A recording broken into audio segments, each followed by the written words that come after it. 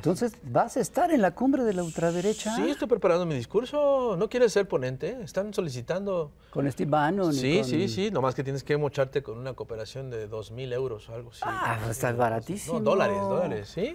Sí, no, si no, yo te Pero tú qué vas a decir Ah, pues vamos a, a defender lo ¿Va a que... estar en la cumbre de la ultraderecha? ¿Qué vas a hacer allá? Pues me invitaron a ser ponente. Yo sí, no, no entiendo por qué, la verdad. No, te No, habrán pues creo que no estás con- entendiendo lo que es la cumbre de la ultraderecha. No. ¿No sabes lo que es el fascismo? Sí. ¿No sabes lo que es la no sabes, no lo que es la ultraderecha radical? ¿No sabes lo no sabes quién es Milley? ¿No sabes quién es Cast? ¿No sabes quién es Steve Bannon? Me suenan, me suenan, me suenan, pero ¿alguien nos podría explicar un poquito más? Claro que sí. A. Le pedimos justamente A mi ley. No, no, no, no, no. A Steve Bannon. Bannon. No exactamente. Ya está A tocando. Juan Carlos Monedero. Ah, está Ay, tocando. Juan Carlos, a ver, a ver. Monedero. Ah, Bienvenido. En de vivo y a todo color. Alguien ha hecho un grafiti en la puerta por dentro. Ah, ¿Qué sí. dice? Dice, quien cruce este umbral abandone toda esperanza. Así es. Eso es del Dante. Sí, claro, del Bueno, Dante. Lascia ogni, ogni speranza voi chi entrar. ¿No? Pues O sea, que tienen ustedes aquí infiltrados cultos. Algunos. Pintadas ahí en las puertas. y ocultos. Pues bienvenido a este círculo del, del infierno, al cual ya has, has estado acá par de Hemos veces. vuelto del infierno Sí, también Sí, sí, sí. y regresamos. Ya Sí, ves que sí se vuelve Estamos haciéndole polvo la mitología a los griegos. Oye, pero el infierno tiene muchas formas. Y Tiene me muchos parece círculos, que en ciertos lugares, como en España y en otros más, hay una especie de infierno llamado ultraderecha Sí, sí. que está muy fuerte, ¿no? Imagínate que en Italia ha ganado una mujer que se reivindica seguidora de Mussolini. Así O sea, es. con el dolor de la Segunda Guerra Mundial, con el dolor del Holocausto, con el dolor del nazismo, Y y, una señora Descaradamente. vuelve otra vez a decir, me reivindico una seguidora de Mussolini. Es horroroso, sí. A mí me pasó una vez una cosa que me, que me estremeció. Fui a, a ver el, el cementerio, el cementerio, perdón, el, el campo de concentración de Mauthausen, que te estremece, ¿no? Eh, y entonces recuerdo que había una excursión de, de niños alemanes. Y decía, qué bien, pero pese a que los niños alemanes visitan los campos de concentración para recordar el horror, no basta. Porque ha regresado el fascismo también a Alemania, y Italia, y a España. Entonces, algo no, no, no funciona. No basta con que en los colegios hagamos determinadas cosas. Hay algo que no se está haciendo bien. O que el fascismo es la expresión de otra cosa que regresa, que es la crisis del sistema capitalista. Siempre que hay una crisis del modelo económico capitalista, emerge. Esa algún Yo creo de que ocurren dos cosas. Ocurre un movimiento, eh, digamos, de justicia social, tal, tal, y este, al mismo tiempo, como reacción a ese movimiento de justicia social, hay una reacción ultraconservadora que busca el regreso a lógicas antiguas, ¿no? Y eso es el fascismo. Pues es el péndulo. Pues sí. Claro, es decir, necesitamos dos ingredientes para que haya fascismo. Uno es frustración de sectores amplios de la, de la ciudadanía, que a menudo son clases medias, que son también más timoratas, más asustadizas, y luego también a veces ¿Maleables? sectores, sí, y sectores populares. ¿no? Cuando se junta frustración ahí, y esa frustración suele venir de algún tipo de crisis, sobre todo económica. ¿No? En las clases medias no hace falta que sea una crisis económica.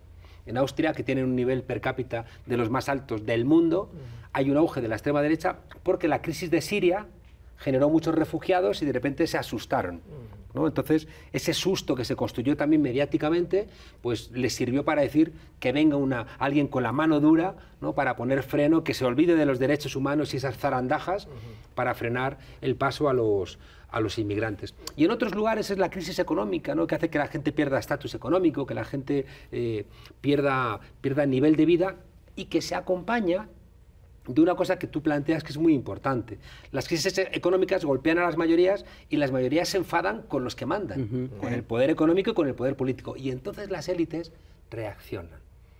Se ve muy claro en el ascenso de Mussolini en, en 1920. Eran los escuadristas, gente que había, aunque habían ganado la Primera Guerra Mundial, no habían obtenido beneficios y estaban sin, dando vueltas por Italia, no reconocidos, enfadados, y lo- es a, a los que junta Mussolini. Y esos escuadristas, que es una cosa muy curiosa, eh, encuentran trabajo porque los contratan los terratenientes italianos, sobre todo porque el Partido Socialista de entonces, al calor de la Revolución de Octubre de 1917, estaban muy vocingleros, pero no hacían nada. Entonces eran como con un discurso Muy amenazante. muy amenazante, muy ampuloso, muy os vamos a expropiar, os vamos, pero no hacían nada. Entonces las élites se asustaron, fueron los paramilitares de la época. ¿Y sabéis qué ocurrió? Que fue terrible. Que estos paramilitares, que eran los, los- esas autodefensas que eran los fascistas, en vez de estar esperando a que les mandaran tarea, fueron a buscarla. Y a la semana de ser contratados, asaltaron la imprenta del Partido Socialista, asaltaron la sede de los sindicatos y empezaron a ir a los pueblos a pegar palizas. Ese es el comienzo del, del fascismo. Son las ramas italianas de combate, los fasci italiani di combattimento. Eh, ese es el núcleo duro de los fasci italiani Claro. combattimento. Pero además existía la tesis de la acción directa, que es- eso es- esa es la otra tesis que los empuja a golpear a toda la gente. Ahora, el fascismo eh, eh, está teniendo un resurgimiento en los tiempos actuales y la ultraderecha se está radicalizando a varios niveles y vamos a tener en México un- una reunión, una suerte de Cumbre. De cumbre de la ultraderecha global en la que vienen gentes como Steve Bannon, Milley, Cast. ¿Qué nos puedes decir de Steve Bannon, de Milley, de Cast? ¿Quiénes son? ¿Quiénes son Esto estos es- personajes? ¿Para qué es esta cumbre? Eso es como cuando te, te- como cuando la Asociación Nacional del Rifle ¿no? Sí. visita eh, una población después de haber habido una matanza para decir esto está bien, ¿no? O cuando antes visitaba Samuel Huntington, que era otro tipo Oh. que construía la política exterior norteamericana, y es preocupante, ¿no? Es preocupante porque hay una red, hay una red internacional de la mentira mediática y una red internacional del odio, que es la extrema derecha, con una preocupación extra, y es que la extrema derecha se está comiendo a la derecha. En Chile, ¿dónde está la democracia cristiana? Se comió Sí, claro. Cast a la democracia cristiana. Bolsonaro se comió incluso a la socialdemocracia moderada de los Fernando Enrique Cardoso y compañía. En España, eh, Vox ha contaminado a Isabel Díaz Ayuso, responsable de haber asesinado en la Comunidad de Madrid, de haberse asesinado a 7.000 ancianos por la orden de no trasladarlos a hospitales que dio esa señora. O sea, Que además también- culparon a alguien más. Sí, sí, sí. Bueno, pues, es Eso la culpa, ¿no? Al- cuando las competencias en España las tenían las comunidades autónomas, intentaron decir, no, la responsabilidad es de Pablo Iglesias, todo de la responsabilidad es de Pablo Iglesias, ¿no? Todo, todo es la culpa. Bueno, el caso es que, mira, el, el fascismo siempre es el plan B del capitalismo en crisis. Siempre, ¿no? Es decir, siempre es un acuerdo. A los capitales no les gusta el fascismo porque es feo, es tosco, tiene gente lumpen, no son educados. Y cuando fracasan, te puede crecer un Sí. estado de bienestar y te complica todo, te acota mucho. O sea, siempre buscan fórmulas más elegantes. ¿no? Lo que pasa es que cuando ya les han fallado las fórmulas elegantes, dicen, pues venga, que vengan los brutos. Ya es el plan A, más bien, ¿no? Claro, se, se convierte el plan A cuando el plan B fracasa, ¿no? Entonces los llaman. Se ve muy bien, ¿no? Esa novela del día de ayer, ¿no? Eh, del ascenso de Hitler, ¿no? Como lo llaman los empresarios cuando de repente dicen, es que están empatados la derecha y la izquierda. Una izquierda que en aquel momento tanto el Partido Socialdemócrata Alemán, el SPD, como el Partido Comunista, pues eran muy fuertes. Y entonces los empresarios dicen, llamemos a Hitler que le habían siempre frenado porque no confiaban en él, porque son tipos atrabiliarios. No confían en Bolsonaro, o sea, cuando recurren a Bolsonaro es como porque no tienen otra, ¿no? Entonces dicen, bueno, hay un dicho en España que dice, para lo que me queda en el convento me cago dentro, ¿no? Entonces estos dicen, eh, estos dicen, si se nos va a acabar el juego, pues que vengan estos y ya veremos luego, ¿no? Hay una cosa muy terrible y, y ojalá la gente que nos escucha tome atención. En el auge del fascismo, las élites pensaron, nosotros vamos a, con- a- a controlar el Estado y que los fascistas y los nazis controlen la calle. Era lo que pensaron los conservadores, porque sin los conservadores, o sea, sin el PAN, nunca va a llegar aquí el fascismo. Y cuando llegue, que llegará, que llegará, como en todos los países, sí, sí, nos llamen a la puerta a ver si van a salir por ahí. a aparecer, ¿no? Llegan porque, porque están en la estructura del propio sistema, están en, en la, en- en la propia lógica del sistema capitalista. Pero fijaos que es muy importante lo que os decía Los conservadores eh, von Papen, los conservadores eh, eh, alemanes o, o los conservadores italianos, el propio Víctor Manuel, ¿no? el rey, decían que vengan los fascistas, que golpeen en las calles, que, que frenen a los, a los izquierdistas, que frenen a los sindicatos, nosotros controlamos el Estado y todo en orden. Y no se dieron cuenta de que los fascistas terminaron, o sea, Hitler en la noche de los cuchillos largos, que no sé por qué se llaman los cuchillos, porque lo que hicieron fue pegar tiros, ¿no? Mataron a prácticamente toda la dirección de la SA, de la Sturmabteilung, ¿no? que era la, la- la- la sección más, Más socialista. De los nacionalsocialistas, ¿no? Entonces, con Romer y compañía. Entonces, esa noche mataron a- a- al jefe de gabinete de von Papen, ¿no? Lo, lo- lo ejecutaron. Es decir, que si los, si los del PAN piensan que cuando vengan aquí los Milley, los Gas y demás, se van a liberar, que, que se olviden, ¿eh? Si les abren la puerta, y siempre les abren la puerta a las derechas, ¿no? Que se olviden, porque porque van a ser blandos a los ojos de los fascistas, dicen los blandos también sois culpables. Va a ocurrir como en la Guerra Civil Española, es decir, los que dicen estáis matando mucho, a ese también fusiladlo. ¿no? A, los, que- a los que le parezcan que estamos fusilando mucho, también fusiladlos. ¿no? Entonces hay una internacional donde hay un tipo que es muy, muy, muy, muy jodido, que es Steve Bannon, que es el tipo que le hizo la campaña A Trump. a Donald Trump. ¿no? Y son tipos que tienen dos características. Son muy buenos a la hora de captar el humor social y son muy buenos también, son como hijos de, de- de- de- de- de la era audiovisual. ¿no? Son- le ocurre también a otro que se llamaba Roger Ailes, que es el fundador de la Fox. Ocurre en España, con el que le escribe los discursos y le marca la estrategia a Isabel Díaz Ayuso, que se llama Miguel Ángel Rodríguez, que fue el jefe de gabinete y de campaña de Aznar. Es el que llevó a Aznar a la Moncloa, empezando como siempre empiezan haciendo listas negras de periodistas a los que había que castigar. O sea, son tipos que empiezan siempre comprando a periodistas y castigando a los honestos. Ya. Siempre, ¿no? Siempre, ¿no? Entonces aquí eh, les, el- les estoy leyendo el futuro. Eh, esto es como lo del padrino, ¿no? El periodista que venga a decir, hombre, si son de centro derecha, ese lo han comprado los fascistas. O sea, el periodista que salga en los medios a decir, no, hombre, si estos de extrema derecha en el fondo son centro derecha y, y no existen también los de izquierda, pues también tienen derecho a existir. Ese está en nómina de los fascistas. Qué, qué- qué bueno que vienes con tu optimismo, suena, me alegrarnos del día. Yo soy un optimista es trágico o un pesimista esperanzado. Es decir, tenemos que ser pesimistas en la medida en que los tiempos que vienen no son bonitos. Porque esto es lo más importante que quiero compartiros. La palabra es rara, la racionalidad de la época, es decir, la manera de pensar de la época, la manera de estar en el mundo ahora mismo, es que es fea. Porque llevamos 50 años que nos echaron al maldito mar. Hubo un naufragio generalizado y había solo una balsa y nos han dicho, son los más fuertes, son los que van a subirse a esa balsa. Y los demás, se acabó. Y esa es la lógica que funciona. Pues se acabó este el bloque, tenemos que ir a un corte comercial. No te vayas, Juan Carlos, y ahorita regresamos. Pero ahorita, no sin antes escuchar a la chamuca, Cintia Bolio. No se vayan.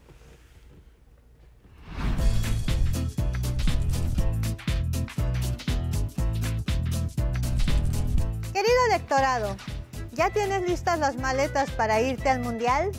Mucha lana, mucha lana.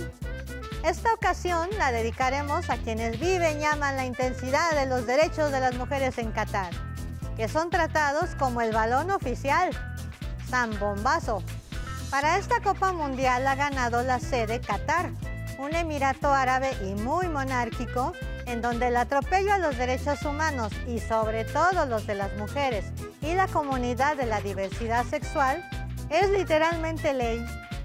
Mejor no vayas a Qatar. Y la ley dicta que las mujeres sean tratadas como subhumanos o ciudadanas de segunda categoría, pues son tuteladas durante toda su vida. Es decir, no pueden tomar ninguna decisión sobre sus personas sin el permiso de su tutor, sea su padre, su hermano o esposo. Este estatus de menores de edad permite que ellas estudien, pero el porcentaje de mujeres que ejercen su profesión o emprenden negocio propio es muy bajo. Tienen un buen nivel de vida en lo material, pero muy acotado en lo referente a la dignidad humana. En la ley no se tipifica la violencia física, psicológica o familiar. Las madres maltratadas por su pareja no suelen solicitar el divorcio, pues se les reconocen pocas causales y en caso de aprobarse, sus hijos e hijas se quedan con los padres. Típico caso de árbitro vendido, como Lorenzo. En cuanto a la violencia sexual, se revictimiza y culpa a la mujer por el ataque y puede sufrir encierro por años, más el harto moderno castigo de los latigazos. Los violadores, muy campantes. Y esto lo hemos visto con el caso de la mexicana que trabajó en los preparativos de la Copa. Las formas de amar que rompen la heteronorma son vistas como aberración por la ley de allá. Si acaso lesbianas, gays y diversidades sexuales van, la organización dice que será tolerada su presencia, pero las expresiones de afecto están prohibidas y pueden irse a penales. El Emirato Qatarí, por si fuera poco, financia al régimen talibán, por lo que es corresponsable de la opresión a las afganas. Y mucho cuidado con los trapos que uses en Qatar, pues el código de vestimenta y los palos de la policía se aplicarán a locales y visitantes por igual. Marcador, misoginia mil, derechos cero.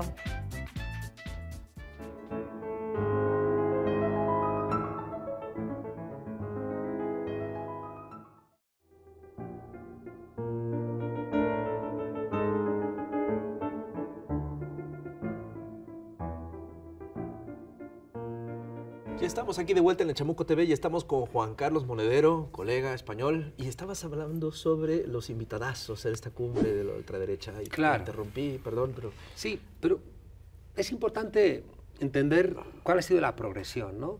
Porque la manera de pensar afecta mucho a los jóvenes. Los jóvenes no han conocido nada más que crisis y un mensaje de sálvese quien pueda. O sea, no es gratuito las películas de zombies. No es gratuita la película de Aníbal Lecter, un tipo que es un caníbal, si son nuestras malditas sociedades. ¿no? O sea, están reflejando... Hay sociedades donde tú haces una película de un caníbal y la gente diría, ¿y esta basura qué es? O sea, usted esto, no, no- no- no me ponga esto. En cambio, de repente te hacen una película sobre el silencio de los corderos y Aníbal Lecter y la gente dice, ¡ay, qué gran película! ¿no? Porque, porque son retratos. Bueno, ahora las series sobre asesinos en serie. Claro, Exacto, claro. Y el éxito que tienen. enferma. Muy de moda. No, y donde- con estos enfermos, de con los afectados del fentanilo, la serie de los zombies quedan perfectos. Sí. Claro, claro, claro. Entonces, eh, 73, crisis del Yom Kippur, se rompe el modelo social, eh, y entonces en ese momento, golpe de Estado contra Salvador Allende, llaman a los Chicago Boys, es decir, a, a los que van a decir el, el modelo keynesiano ya no vale, que el Estado no intervenga en la economía para redistribuir la renta, sino que el Estado tiene que intervenir en la economía para garantizar el beneficio de las empresas. ¿no? Y empieza una nueva época. Y la tienen que construir intelectualmente. ¿Sabéis qué está diciendo la derecha en España? Estos de la izquierda están con las guerras culturales, cuando lo importante es lo del comer. Y ellos, antes de ayer, inauguraron una estatua en el centro de Madrid a la Legión y a Millán Astray, que era un fascista. Entonces, ellos nos dicen, no, no, vosotros no hagáis la guerra cultural. La guerra cultural la hacemos nosotros, ¿no? Para que al final, cuando te des cuenta, la gente va a terminar como el final de esa película hermosa de la lengua de las mariposas, ¿no? El niño tirándole piedras a su maestro, ¿no? Porque, porque no te están contando ninguna otra cosa, ¿no? Entonces, qué curioso que eh, el golpe de Estado contra Salvador Allende es el 73, llaman a los discípulos de Milton Friedman y en el 74 a quien le dan el maldito premio Nobel de Economía es a Milton Friedman. Sí, sí, sí. O sea, le dan el premio Nobel para decir, esto está bien, ¿eh? Lo que están haciendo en Chile, o sea, le hemos dado un premio Nobel, ¿usted quién es para criticarlo, no? En el 78 nombran un papa de extrema derecha, Juan Pablo II, que el Señor tenga en su gloria.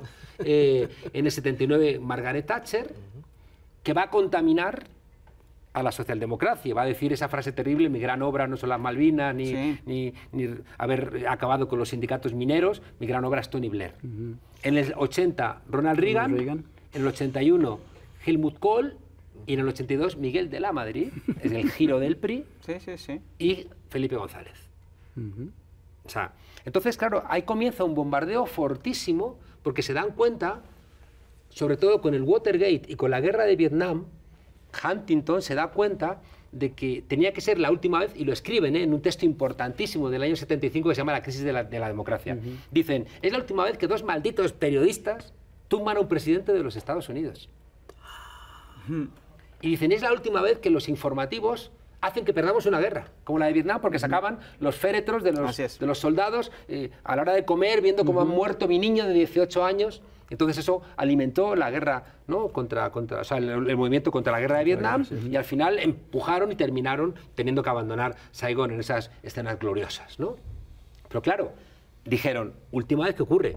Y a partir del año 75 empieza un control brutal de los medios de comunicación, brutal.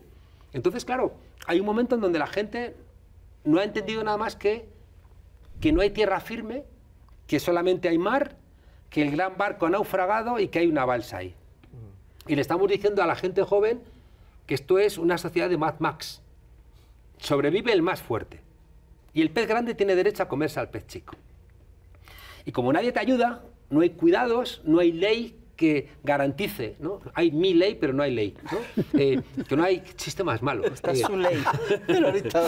Hay mi ley, pero no hay nuestra ley. Lo peor es que nos lo ganaste a todos, ¿eh? Sí. claro, todos han hecho su granito de arena. Sí, todos lo pensamos, pero tú te nos adelantaste. Eh, entonces, eh, ya digo, en esta sociedad donde te están diciendo eh, o te subes a la balsa o te ahogas, surgen los políticos que te dicen tienes derecho a subirte a esa balsa. Hagas lo que hagas. Es Trump diciendo yo agarro a una mujer por los genitales, yo pego un tiro a alguien en la Quinta Avenida y no me pasa nada. Es la Isabel Díaz Ayuso, la presidenta de la Comunidad de Madrid, diciendo salid a beber cerveza en mitad de la pandemia, no pasa nada. Es decir, es una invitación, es eh, Meloni, la presidenta, nueva presidenta de Italia, en el mitin antes de las elecciones diciendo, y a partir de ahora, vosotros que habéis llevado la testa baja, la cabeza baja, vais a poder expresar lo que realmente pensáis. ¿no? Es decir, es como una autorización. Entonces, esa autorización hay gente que la articula, y el gran articulador es Steve Bannon que son gente sin escrúpulos. Es un tipo que le han detenido porque reunió dinero de locos a los que engañaban, como los telepredicadores, para que le dieran plata para hacer el muro De con México y se quedó el dinero el tipo. Es que son geniales. Hay que agradecérselo. Son geniales. Eh, Perdón, hay una parte de eso que no está mal. Son geniales, ¿no? Es decir, son, son tan caraduras. Sí. ¿no? O sea, no tienen escrúpulos, ¿no? Es, es, es espectacular, ¿no? Entonces el Steve Bannon es el tipo que le hace la campaña a un sinvergüenza, que ya era un sinvergüenza, Donald Trump, y entonces eh, eh, va a generar todos los mecanismos para que esa autorización eh, sea eficaz. El eje central es el control de medios de comunicación. Ese es el primero. Así es. Y después lo intentan acompañar también de control de algunas universidades privadas, algunas revistas y actos esporádicos que van sumando y que no hay que dejar de lado, como la reunión que hubo aquí hace poco de un concierto de fascistas, porque esas cosas van naturalizando. En el momento en que tienen lugar, Sí, ya. ya has roto un tabú, ya has abierto una grieta. Se espera el siguiente. Aunque haya solamente 300 personas, da igual, tú ya has abierto una brecha. O sea, si el Estado no ha estado en la puerta y ha detenido a los 300, ha deportado a quien tenga que deportar y les caen unas multas o, o- o cárcel a esos tipos por delitos de odio y demás, si no hacemos eso, ocurre una cosa terrible. Y esto, eh, igual que antes os decía que era lo más importante, esto es lo que más me preocupa. Cuando los fascistas empezaron a golpear a la gente, mientras que el Partido Socialista era pura voz, pero no se defendió de esos ataques, no permitió armar al pueblo para defenderse de esos ataques, siempre es ese error, como el 18 de julio del 36, el pueblo pidiendo armas para parar a los fascistas de Franco, y eh, Niceto Alcalá Zamora diciendo, no, no repartamos armas porque... ¿no? Y el pueblo dijo, no te escucho, y gracias a eso fracasó el golpe. Empezó una guerra civil, pero fracasó el golpe militar. ¿no? Entonces, eh, esta gente, ya digo, van armando de alguna manera intelectualmente a los nuestros. Hay una frase terrible de Elías Canetti que dice, terminar aullando con los lobos para que no te devoren. Así es. Es decir, ¿qué, ¿qué ocurrió en Italia? Los fascistas llegaban a un pueblo, sacaban al rojo, le daban una paliza, lo dejaban muerto. ¿Quién quiere estar con nosotros? ¿O quién quiere seguir la suerte de estos? Y muchos decían, no, no, yo con vosotros. Y entonces iban encontrando espacio. Este tipo de gestos brutales, mediáticos, son las nuevas formas de fascismo del siglo XXI. Es decir, que el, el concierto del otro día es la antesala Así es. es la antesala. Igual que los discursos de Milley, que es el tipo ¿no? que representa todo esto en Argentina, los discursos de Milei están dirigiendo la mano que disparó a la cara de Cristina Fernández de Kirchner. Falló la pistola. Hubo Kurt Tucholsky y otros intelectuales alemanes, y salió en Nuremberg, plantearon los Schreibtisch-Täter, que son los asesinos de escritorio donde juzgaban a gente no porque hubieran metido a alguien un tiro o lo hubieran metido en la cámara de gas, pero eran los que justificaban intelectualmente que eso ocurriera. Esos son igual de responsables. Y esos están escribiendo columnas ahora mismo en la prensa en México. Seguimos aquí en Chamoco TV, en el Plus de YouTube, y estamos con Juan Carlos Monedero. Y estamos platicando de cosas muy fuertes. Hace rato hablabas sobre como que dos grandes ejes en los que se monta la narrativa de la ultraderecha, que es la mentira y el odio. Eh, y hablamos, por ejemplo, de gente como Ayuso, en fin, como Bolsonaro y demás. ¿Cómo es que estos dos ejes que son terribles, como es la mentira y el odio, pueden tener eh, respuesta en grupos muy grandes de la población que pueden llevar a la gente al poder? Mm. Ese riesgo está en, España con Ayuso. ¿Cómo es que logran tener esto cuando claramente son dos antivalores? Hay momentos en la historia, y el COVID ha sido muy relevante para todo esto, donde esos discursos de, autorización, de, la falta de empatía, de autorización de, eh, haz lo que te dé la gana, eh, encontraban mucho eco. Ahora, en cambio, en Madrid, hoy mismo, está en pie de guerra toda la sanidad pública toda. Porque hace cuatro meses despidió 6.000 médicos. Porque lo que está buscando es deteriorar la sanidad pública para que la gente vaya a la sanidad privada. Claro. ¿no? Entonces, eh, claro, ¿Dónde hemos visto eso? ¿Dónde chingados hemos visto eso? Ahorita me la, la, Yo pedí una cita hace tres días y me dieron cita para dentro de cuatro meses. Entonces, yo soy profesor de universidad, tenemos los universitarios, tenemos un seguro privado y dices, ¿qué hago? Pues ¿Qué hago? ¿Me espero cuatro meses o voy al seguro privado? Entonces, claro, y eso lo que va haciendo es debilitando cada vez más a la sanidad, eh, a la, sanidad pública. Claro, ya hay en algunos lugares donde pues, a lo mejor puede funcionar, pero, pero en un pueblo pequeño, ¿sabéis qué hacen los seguros privados? Esa es mi cámara. Mexicanos. Si ustedes van a seguros privados, cuando cumplan 60 años, les van a multiplicar por dos la cuota que pagan o les van a echar del seguro, porque ya no son rentables. Y por tanto, que sepan ustedes, los que vayan a un seguro privado y no refuercen la sanidad pública, cuando sean mayores, olvídense. Hay un monero en España, como mi amigo Fisgón, el roto, que dibujaba un asilo, una casa de ancianos, y había un hombre y una mujer mayores agarrados desde atrás y ponía asilo de ancianos y en la puerta ponía sean breves. Ay, cabrón, qué oh, maravilla. Ese está Ese es el roto. Vamos a buscar ese, roto. Vamos a pasar. El roto es. Uf, más que nosotros, nosotros un latigazo. Sí, sí, nosotros aquí lo veneramos. ¿eh? Ese es, también para aquí, para los hay, caricaturistas hay un cartón de él de que están, le están ayudando a una anciana a salir de un edificio en ruinas. en ruinas y la anciana dice, gracias por ayudarme a salir del edificio que habéis derrumbado. sí, sí, sí, sí, Así es, ¿no? Esa es la lógica. Sí, sí, sí. Y, y claro, como, como llevamos en esa yo creo que somos todos un poco zombies, ¿no? porque es que llevamos 50 años sobreviviendo en este tipo de lógicas. Así es. Y se nos cuelan por sitios que no te das cuenta. ¿no? Tus hijos tienen que estudiar o tú mismo te planteas, ¿qué estudio? A lo mejor te gusta mucho la filosofía o la historia o la literatura y dices, ¿pero de qué voy a vivir? ¿no? Y encima viene uno de económicas y te insulta. ¿no? Esto es como una vez que, que lleva con una moto, tenía, cuando volví de Alemania y daba clase en tres universidades para poder llegar a completar un sueldo ínfimo y una de las universidades donde daba clase era una, universidad privada de ricos. Recuerdo que estoy, salgo de clase y estoy ahí en el semáforo con mi Vespino y había uno de mis alumnos en un coche 4x4 y mira así dice, profe, una sola rueda de mi coche vale más que toda su moto, ¿no? No me digas. Yo pensé, vas a probar tú Sí, como cuando no. yo te diga. Cero pendejo. Entonces hay una lógica, Entonces hay una lógica ¿no? de, de- de- de tanto tienes, tanto vales, eh, el modelo de consumo. eh.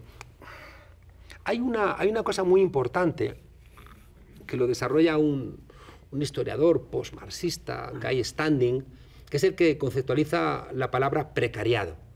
Dice que los trabajadores ahora son, él es una mezcla de proletariado y precariado, entonces es el precariado, ¿no? De precarios y proletarios, ¿no?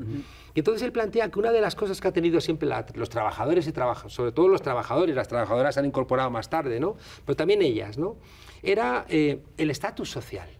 O sea, tu reconocimiento social venía, estaba muy vinculado a tu trabajo. Y tu trabajo te permitía prosperar en el trabajo, tener una identidad, que te reconocieran tus vecinos, hacer planes. eh, el trabajo era una cosa que te dignificaba. Claro, cuando de repente desaparece eso, porque los trabajos no duran, porque te te despiden muy pronto, porque los salarios son muy bajos, porque no puedes prosperar, porque no hay permanencia en el puesto de trabajo, de repente estás frustrado y no tienes identidad. Ahí viene la extrema derecha. Y hay una cosa que ustedes han hecho muy bien y por favor no lo pierdan, es que la extrema derecha a menudo se va a montar en un cierto desprecio de la izquierda por su propia nación. Es decir, el nacionalismo siempre ha sido, es verdad, de la derecha. Sí, claro. O sea, el nacionalismo son, lo- la gente de izquierdas nos gusta más el internacionalismo, pero tenemos que entender que tenemos que hacer también fe de nuestro terruño.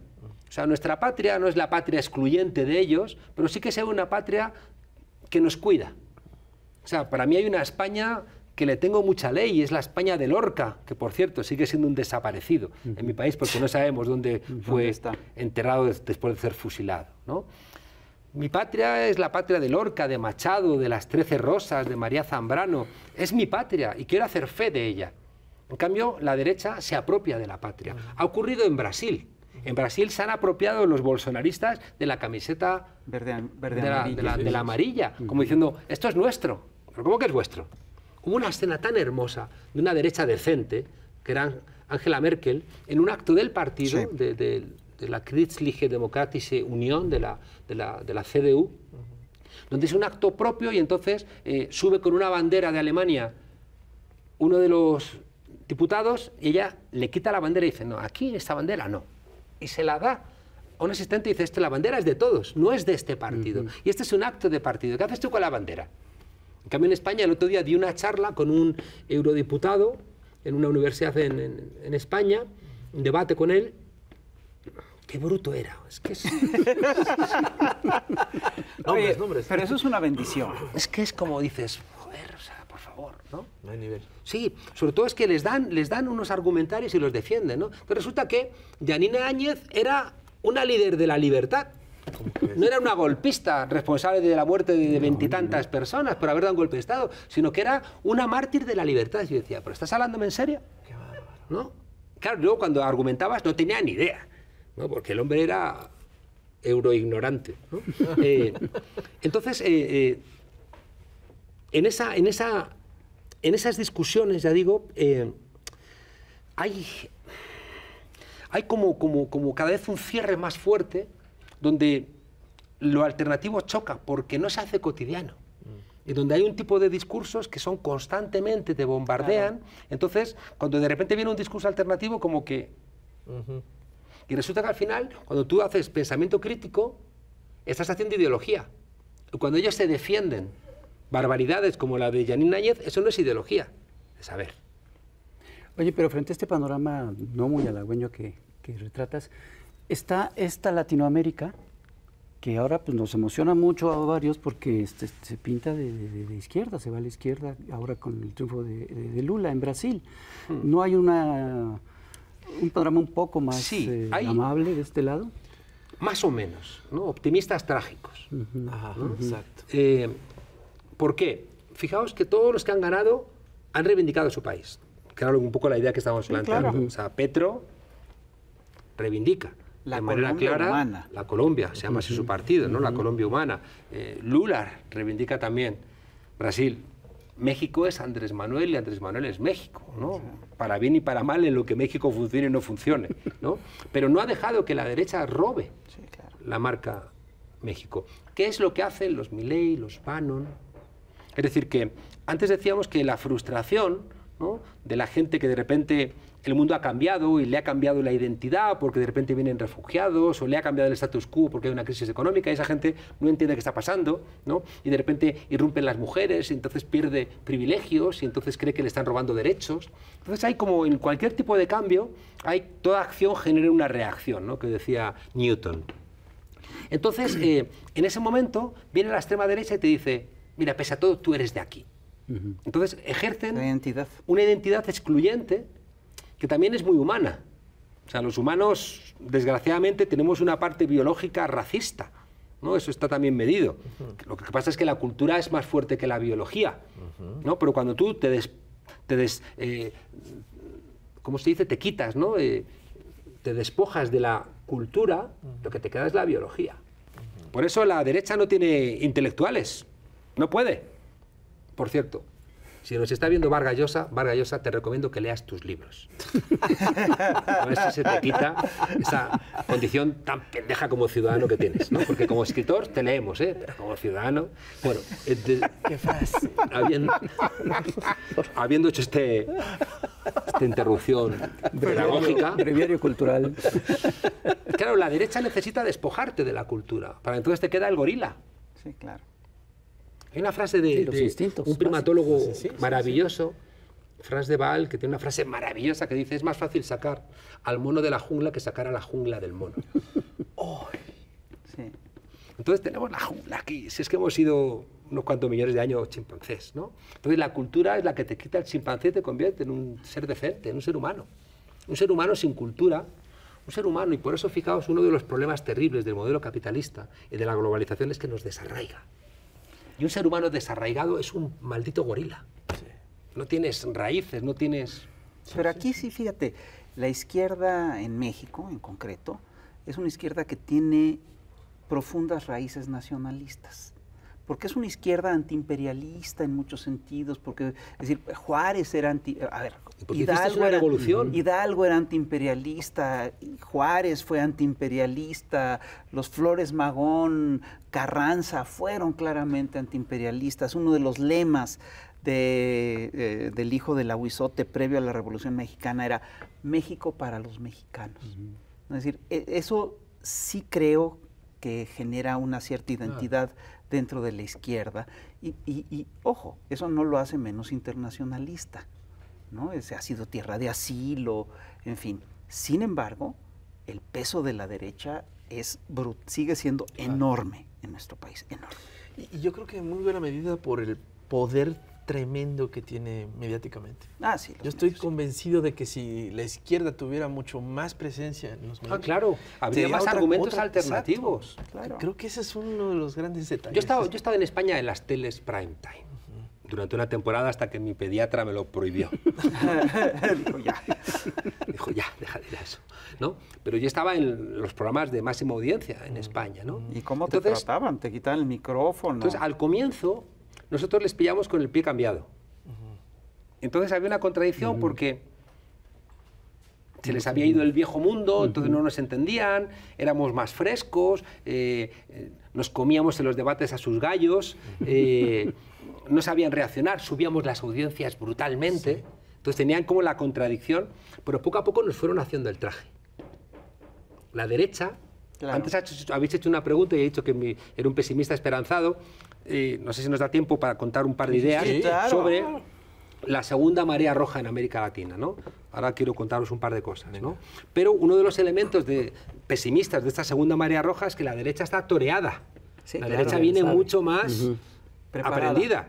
Yo recuerdo en España eh, las primeras manifestaciones de la derecha contra el gobierno socialista salían con las pancartas, entonces eran tan idiotas que no les habían hecho agujeros, entonces se las llevaba el viento, decías, idiotas, o sea, o sea, no habéis Algo- hecho una manifestación en vuestra maldita vida, ¿no? O sea, poned un agujero. Daban ganas de decir, coger un bolígrafo y decir, oye, por favor, o sea, ¿no? ya luego como las ahora ya las subarriendas y se las hacen una empresa, pues ya las empresas vienen con agujeritos troquelados perfectos, ¿no? No hay, no hay ningún tipo de problema. Entonces esa derecha ha aprendido y entonces a nosotros nos terminaron haciendo el traje. en los medios de comunicación. Por ejemplo, cuando yo ganaba un debate me castigaban tres semanas sin ir. O sea, que Te pagaban te una lana, ¿eh? Ajá, una buena pasta. Sí. Pero Una lanaza. Entonces, claro, de repente cuando decías, a ver, eh, sé que si digo esto, o sea, si yo derrotaba a la, eh, o decía algo irónico a, a la presentadora Ana Rosa Quintana, a mí me castigaban tres semanas. Se hacías cuenta y decías, pues esta gracia que he hecho, este chiste me cuesta 3.000 euros. Este chiste que he hecho me cuesta 3.000 euros. Yo soy como, como corto maltés y por hacer un chiste estoy dispuesta a que me parten la boca, ¿no? Eh, pero otra gente no. Y hay muchos periodistas que no. Entonces, ya digo, decía que te van haciendo el traje. Y recuerdo ya las últimas veces también, aparte de que te castigaban sin ir, entonces yo llegaba y me ponían un video en la frontera de Colombia con eh, Venezuela, un niño desnutrido guayú. Me sacaban una ocupación de una vivienda de una gente que tenía a los vecinos destrozados. Y me sacaban eh, una foto de un inmigrante que había arrastrado a una señora mayor por el suelo robándole el bolso. Me decían, ¿qué, monedero? ¿Eh? ¿Qué opinas de esto? ¿No? Entonces decía, pues hombre, pues está mal, ¿no? ¿Pero qué quieres que te diga? ¿Que, que odie a los inmigrantes, que odie a la gente que sin tener alternativa o, eh, habitacional ocupe un, piso de los bancos o- o que demonice como vosotros a Venezuela pero me calle con Arabia Saudí o, o los muertos de Irak, de Estados Unidos? ¿Qué me estáis diciendo? ¿no? Entonces poco a poco te iban construyendo. ¿no? Entonces, si queréis, os decía que en la segunda oleada roja viene con muchos más problemas que la primera oleada roja, ¿no? donde ganó Chávez, Correa, Evo Morales, el primer Lula, Néstor Kirchner y compañía. O sea, el primer elemento es que no están ganando con mayorías. Primer elemento. Están ganando apretaditos. México ahora. Sí, sí, sí. Sí, México es que es una excepción para muchas cosas. ¿no? Porque Pero- no participó en la primera oleada. Mm, Eso explica muchas cosas. Sí, sí. Bueno, participó, pero no le permitieron llegar al gobierno a la izquierda. Yo cuando visité a Lula en la cárcel, en Curitiba, que es una de las cosas hermosas que yo he hecho, ¿no? El otro día, eh, cuando gana Lula, eh, busqué un recorte de la prensa de cuando yo visité a Lula y uno de los periódicos así importantes de, de la, de la derecha y de la extrema derecha de España titulaban Monedero visita en la cárcel al corrupto y encarcelado Lula, ¿no? Entonces recuperé y lo puse. Gracias Lula por volver a ser presidente y ponía yo el recorte Claro. ese. Jodeos, imbéciles, ¿no? Eh, entonces ganan apretados, ganan en frentes amplios. Sí, Sí, claro. Con ¿Qué indeseables en muchos casos. Frentes amplios, que como me dijo a mí una vez Pepe Mujica, me dijo, Monedero, porque yo le dije, Pepe, cuéntame de- del Frente Amplio, porque en España tenemos que hacer un Frente Amplio y yo siempre, cuando fundamos Podemos, fundamos Podemos, pero yo siempre dije, Podemos va a ser la, no- la nave nodriza de un Frente Amplio. Nunca pensé que Podemos, porque creo que eso ya no va a ocurrir. Yo ya creo que ningún partido va a sumar ¿no? a, mayorías en ningún país, porque, porque esto hace que todo el mundo sepa más que el partido. Y por tanto es muy complicado que el partido eh, te dé claves para absolutamente todo. Entonces le dije, Pepe, cuéntame el Frente Amplio, porque vosotros lleváis 40 años, tenéis mucha experiencia. Me dijo, Monedero, el Frente Amplio es más amplio que Frente.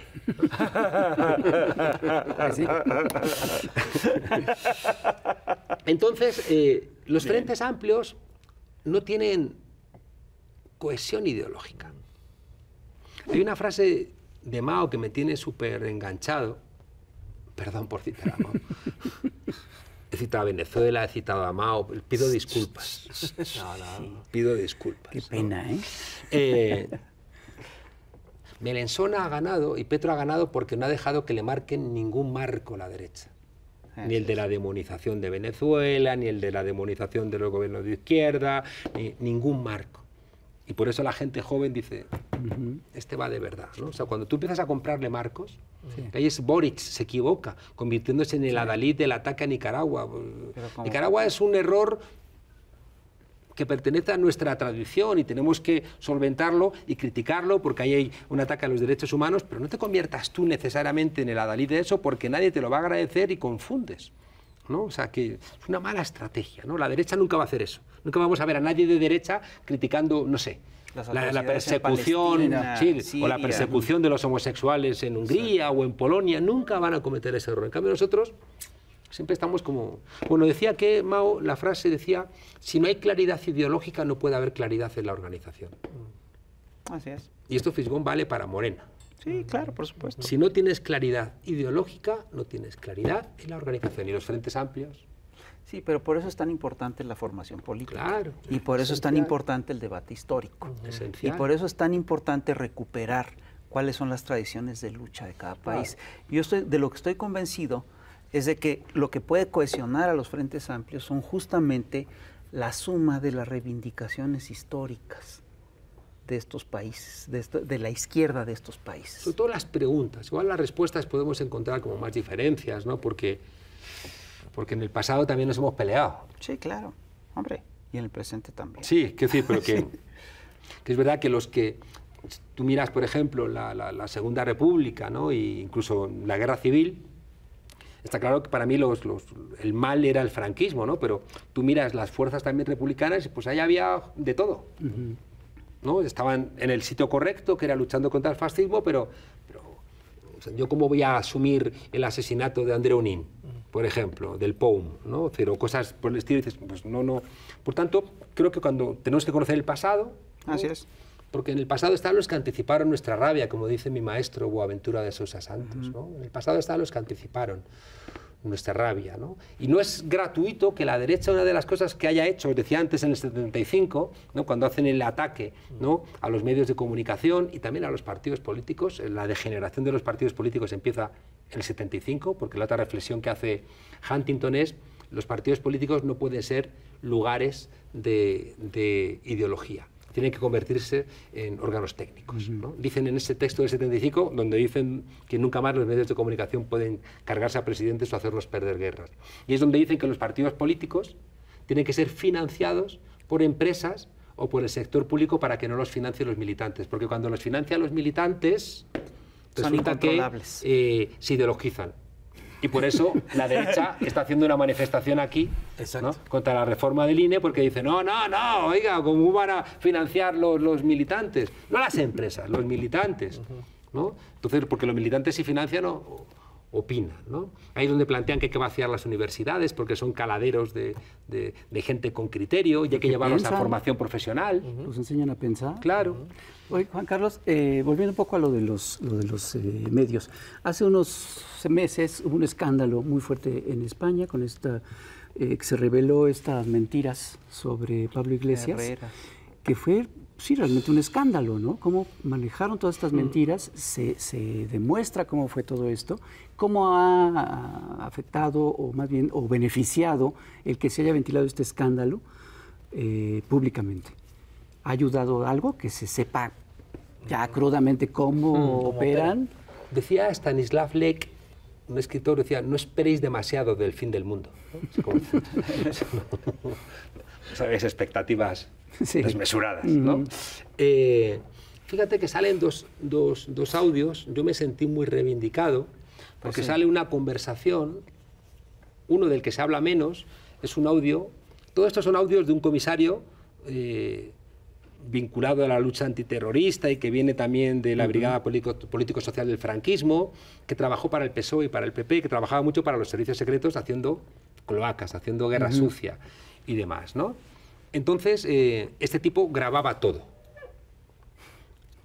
Termina en la cárcel porque se le tuercen algunas cosas y se enfada porque él piensa que le tenía que haber sacado. Su gran arma era que iba a hacer públicas todas las trapacerías del rey Juan Carlos, en emérito. ¿no? Él pensaba que, porque claro, él sabía que en España se había hecho todo para tapar los puteríos, los, los- los- los, eh, empiernamientos los, los- y cosas incluso más terribles que se señalan de barbaridades que hizo ese señor, ¿no? aparte de robar y demás. ¿no? Entonces dijo, bueno, como el Estado siempre ha hecho todo lo posible para tapar eh, las trapacerías del el emérito, si yo digo que voy a sacar todo esto, a mí no me van a meter en la cárcel. ¿no? Entonces, ahí no puede librarse porque es verdad que ya hay un momento en donde también existe Podemos y la existencia de Podemos impide un gran acuerdo entre el PSOE y el PP, que estaban de acuerdo entre ellos. Ese binomio es un binomio conservador donde el PP representaba la parte moderada y el PSOE la parte progresista, pero era un binomio conservador. ¿no? Entonces, cuando surge Podemos, es que se les termina el chollo porque nosotros decimos, eh, eh, eh, no, no, eso no es así. ¿no? Que esa es la gran discusión en España. ¿Pero por qué odian a Pablo Iglesias o por qué me odian a mí? Porque nos han intentado doblar el brazo, nos han intentado encarcelar, nos han intentado comprar.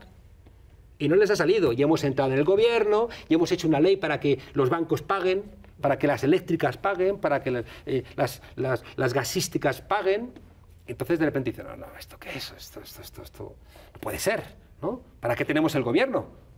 Si tenemos el gobierno para que no paguemos impuestos. Imagínate si resulta que las empresas energéticas van a tener que pagar 3.000 millones, ¿no se van a gastar 1.000 millones en intentar matarnos?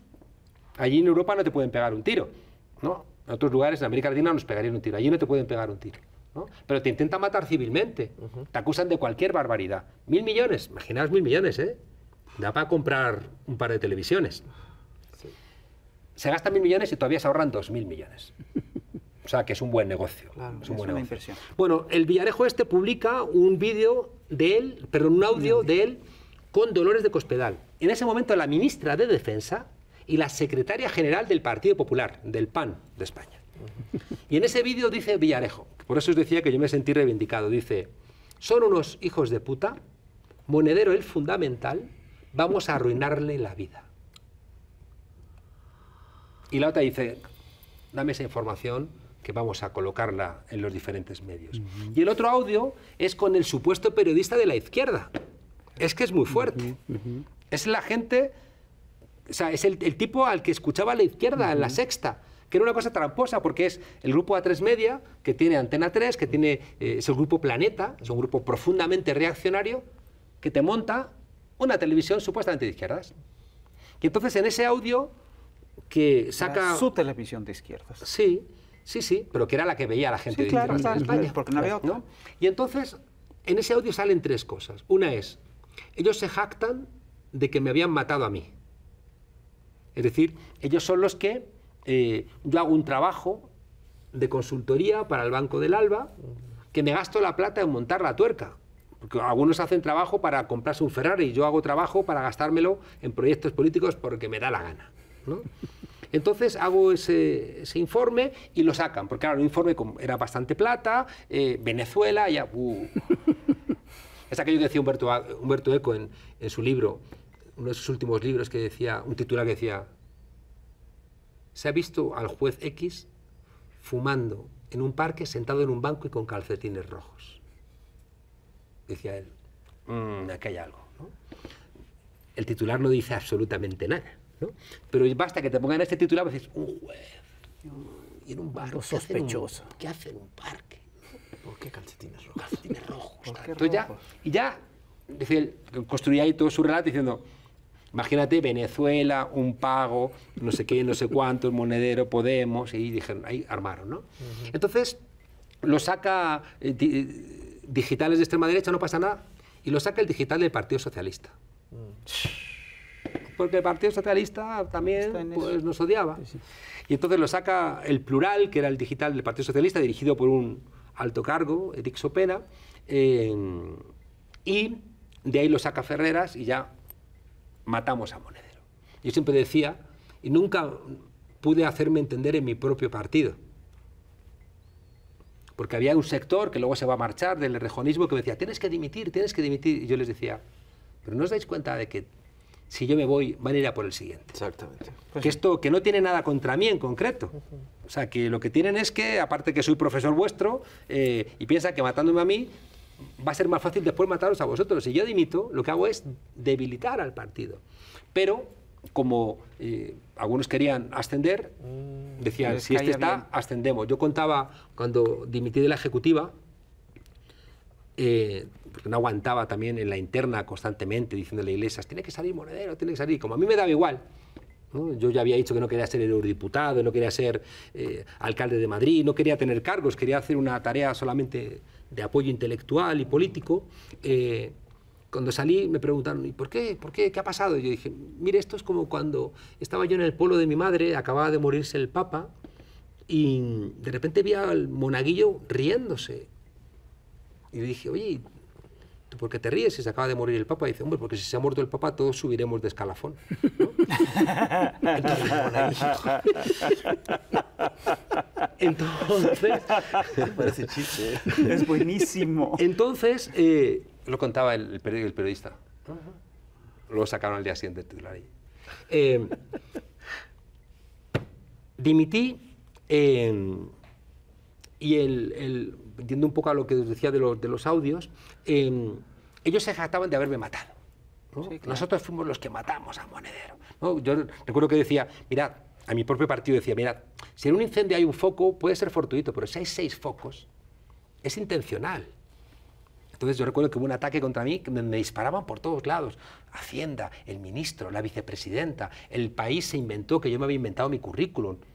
¿No? que tuvo, sacó un comunicado durísimo en la Universidad de Puebla diciendo, Monedero lleva seis años colaborando con nosotros, ¿no? O sea, tuvo que dar marcha atrás el país, nos hemos equivocado, no sé qué. Pero daba igual, porque era también el peor momento del diario El País, donde no les importaba mentir, Claro.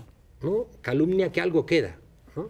Entonces, eh, en ese audio eh, dice que a mí me habían matado, que es grave, ¿no? O sea, se jactan, ¿no? Como, como si fueran mafiosos, pero en ese audio también reconoce que hay una noticia que es falsa, pero que la va a dar contra Pablo Iglesias. Una cosa que era una estupidez, era que le había pagado Maduro el día Ajá. que se fundaba Podemos, eh, le había depositado, Depositado. una cuenta en Granadinas de 225 mil dólares, al nombre de Pablo Iglesias Turonera, como dices. o sea, ¿no? Entonces el propio Ferreras dice, hombre, esto es muy burdo, pero lo voy a dar, ¿eh? Entonces, sabiendo que era burda la noticia, sabiendo que era falsa, la da, entrevista en directo al sinvergüenza de Inda, eh, hace una entrada con, con- una periodista que, y en la sexta noche, que era el programa político de debate por excelencia, y Linda dice al presentador, un sinvergüenza al presentador también, porque ya no son periodistas, son sicarios. ¿no? Y el Iñaki López ese era un sicario, ¿no? que sus hijos y su mujer debieran avergonzarse de un tipo que ha hecho este tipo de cuestiones. ¿no? Dice Inda, ¿qué pone aquí? Y el otro mira y dice, páguese a Pablo Iglesias Turrión 225 mil dólares y las granadinas, ¿no? Pacific Bank y tal, ¿no? O sea, el periodista, ¿no? Prometiendo, o sea, eh, permitiendo ser un sicario, Y la firma de Maduro. ¿no? Y la firma de Maduro. Sacaron algunos documentos que habían pagado a Podemos después de que Maduro se había muerto, firmado por, eh, perdón, después de que Chávez se había muerto, firmado por Chávez, ¿no? Hombre, es que, es que Chávez ya se ha muerto, entonces no parece muy sensato Sí. que este pago no haya tenido, haya tenido lugar. Bueno, pues esto que es gracioso, como os lo he contado, tiene una parte triste, ¿no? Y es que Ferreras es un mafioso Pues sí. que decía en esa misma entrevista diciendo, nosotros somos los que podemos hacer daño a la izquierda porque la gente cree que somos una, un canal de izquierdas. Y lo dice así. Sí. Nosotros somos los que les hacemos, cuando nosotros dice el tipo, cuando les damos, les, les damos, le damos una hostia, les, cuando les damos un, un golpe les duele de la hostia. Porque nosotros pasamos por ser una televisión de izquierdas y por tanto tenemos credibilidad.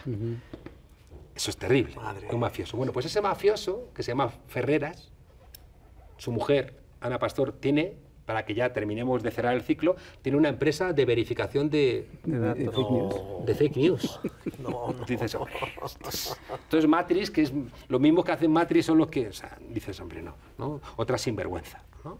Entonces, eh, Pero no hay consecuencias. el problema es que, no, el problema es Que que la credibilidad de- solamente dimitió de la tertulia de Ferreras un periodista, del Salto, Yago Álvarez. Los demás aguantaron, todos.